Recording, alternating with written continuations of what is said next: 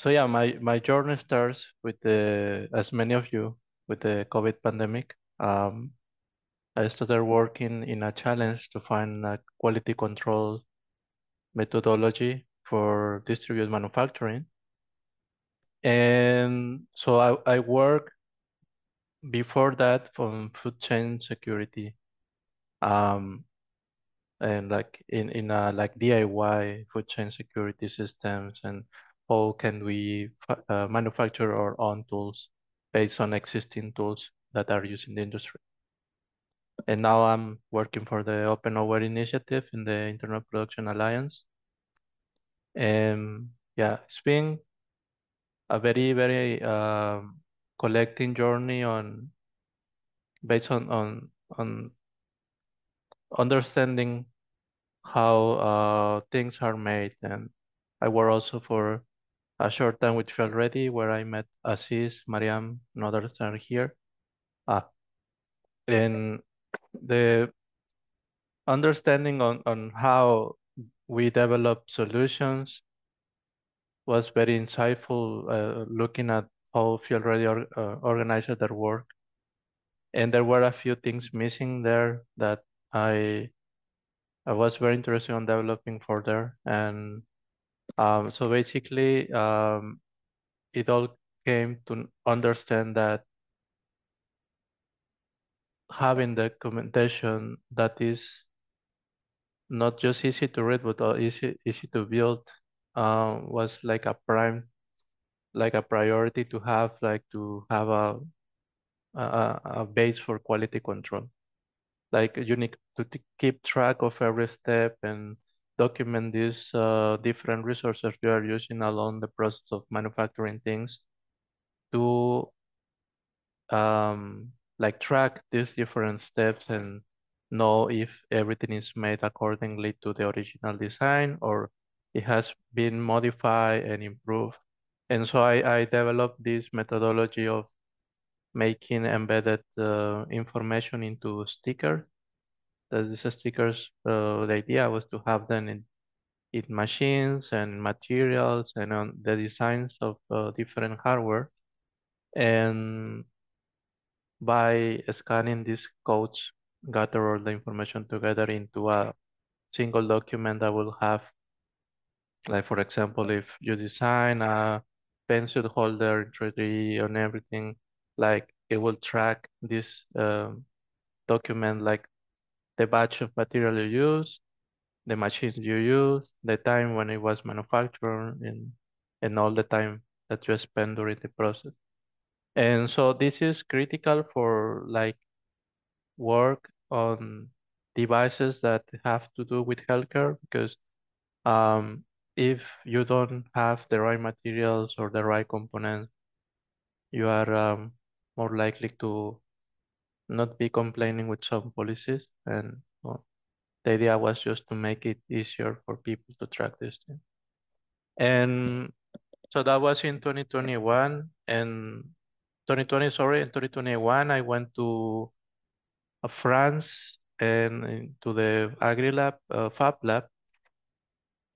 And the idea there was to develop a device that is based in this one that's in the corner. That's an existing industrial solution for uh, checking the quality of milk.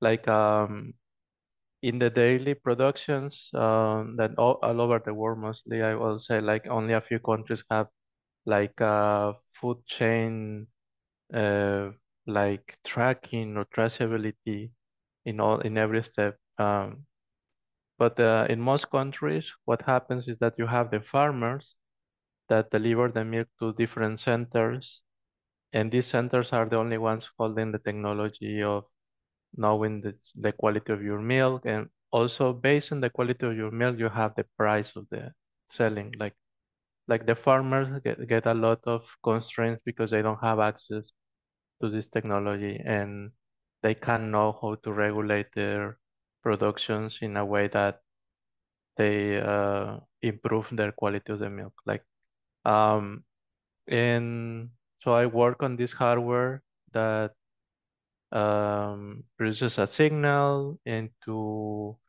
uh, some electrodes and then checks for the pH of, of the um, milk, and based on that pH, it gives like a like a lecture of uh, if it's uh, good or or not, and based on a numerical range. Um, but yeah, so the, my idea was to bring a solution and like reverse engineer into a make a manufacturer like a like a fabbable device. And so yeah um so the outcome of that research and was this device and it was during five months that I was in France. And so why why is it important for me? And and is that I learned how to think on on what is the important process of developing a hardware for people that's going to use this and and supposed to also all the scenarios where things can go wrong and all that. So um and so I made a list of the learnings I had um during this process and uh so the first learning, big learning was like to prioritize research on the field and especially on the early stages because at the end you may be thinking on something, but you are in a bubble and your ideas may be not proof enough to, like in the early stages, to know if this is going to be useful at the end for the people that you are intended to develop this. Um, and the other learning is that not always all the ideas or, all the innovation will come out as a digital tool or uh, a hardware. Like makers as makers we have this problem like we think like everything will be solved with a device or hardware or something uh, but sometimes it comes out as a methodology or even a policy like you can contribute to develop a policy into a different direction and talking about hardware like a, a good learning is like the size of the device depends on the of the components. And if you don't look further into more smaller comp uh, components and other catalogs, you will end up with a super big device and at the end it won't be useful just because you didn't run the research in there into smaller components. And um, and the other one is uh, regarding the place where I developed this device is that maybe the innovation institutes that are too specialized into something are not the best places to start a project like this. And the reason is because sometimes there is a bureaucracy and like bringing innovation in a in, in, in this way is difficult because there are so many constraints. Like if we think about this like as a project that will be developing into uh, this process of prototyping and failing, uh, some research institutions don't understand this and think like like this way of working is not very um, efficient and because I look on things like more in the academical way. And so it's difficult to start there. And so my learning is that maybe I should look into other type of more horizontal um, institutes uh, like they are not too specialized into something. And yeah to have their mentoring to find mentoring also very important. And that there is some knowledge that is not easy to find in in the while you are learning and developing these things. So it's important to always uh, reach out to people that has this experience uh, because there's some knowledge that is not easy to find and that takes years to develop some understanding on what are the priorities like as is right now uh, talk about and so yeah so it's always to reach out to other people to prove your ideas and and uh, develop further on that.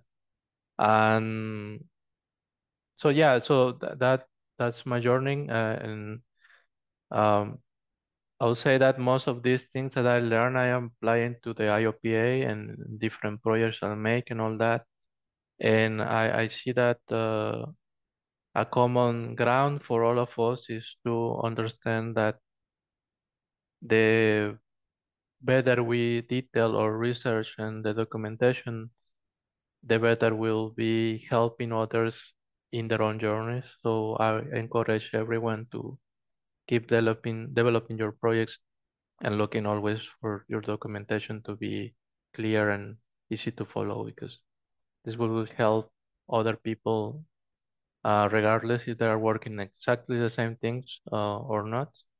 So yeah, and that will be it.